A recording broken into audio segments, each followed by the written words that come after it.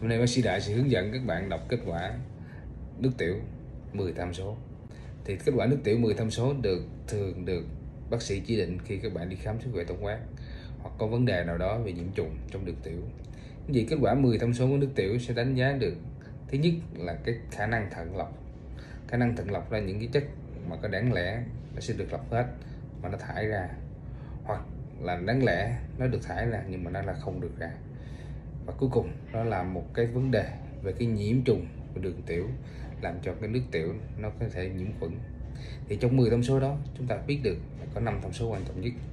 Thông số thứ nhất, các bạn đánh giá là bệnh nhân là các bạn có đi tiểu ra máu hay không? Đánh giá tiết tắt là BLD hẹp lên.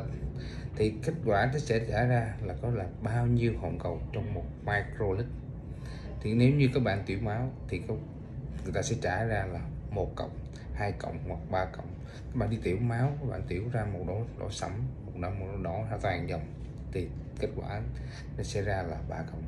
Ngoài ra các bạn, nếu như các bạn uống một cái chất nào đó có thể gây lên đi tiểu ra có màu, nhưng mà không phải là máu, thì nó tức tiểu ra sẽ là âm tính. Blood là âm tính, hay máu âm tính. Cái chất thứ hai mà chúng ta đánh giá đó là protein nước tiểu. Thì tùy theo những bệnh cầu thận thì cái đáng lẽ là cầu thận phải phải lọc được hết tất cả những protein và nước tiểu thường sẽ không có protein.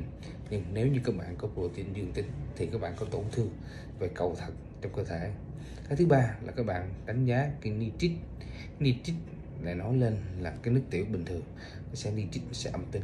Nhưng nếu như các bạn nước tiểu mà nó có một cái nhiễm trùng nào đó thì nitrit thì là dương tính.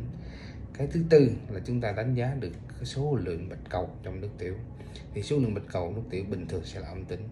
Nếu như các bạn bị nhiễm trùng tiểu, nhiễm trùng đường hẹn niệu dưới thì có thể đánh giá được là bạch cầu có thể lên, tăng lên 100 200 hoặc là mấy cộng đó có thể biết được có nhiễm trùng tiểu hay không. Và cuối cùng là đường gluco. Thì thông thường bệnh nhân trong các bạn. Nếu như không bị gì cả, không bị tiểu đường, thì nước tiểu sẽ là âm tính. Nếu như mà dương tính, có nghĩa là các bạn, đường nó quá cao, nước tiểu lọc không hết, và cuối cùng phải đi tiểu ra.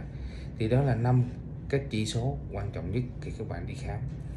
Và có được cho chỉ định hoặc là tổng tính nước tiểu, thì các bạn biết được. Với năm chỉ số đó, thì các bạn mình biết được cơ thể mình bị như thế nào hy vọng là qua bài này thì các bạn sẽ hiểu được cách đọc cái tổng tính nước tiểu 10 tham số mà bác sĩ đã cho. Xin cảm ơn.